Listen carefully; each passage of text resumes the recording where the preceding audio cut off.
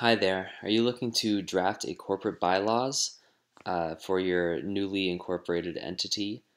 Uh, then look no further. In the state of Alabama, uh, corporations are expected to have a document known as the corporate bylaw, in which uh, you will the document will state uh, information about the entity that's not specifically detailed in the articles of incorporation, such as the business purpose, uh, management, annual meeting schedules, distribution of shares and uh, ownership percentages, and, and any other rules and regulations the business plans on abiding by.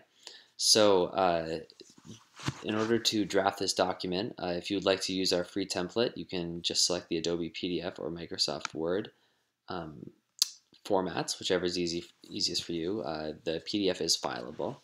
So basically on the first page you enter this information of the second or the fourth, seventh, eighth, twelfth pages, etc., you enter this uh, this information here, and after you you finish the bylaws, they should be handed to every active member or individual that has an interest in the entity for uh, for verification.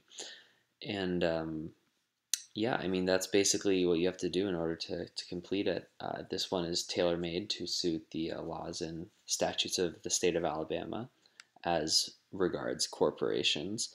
So again, feel free to use uh, either format you want free of charge. Thank you.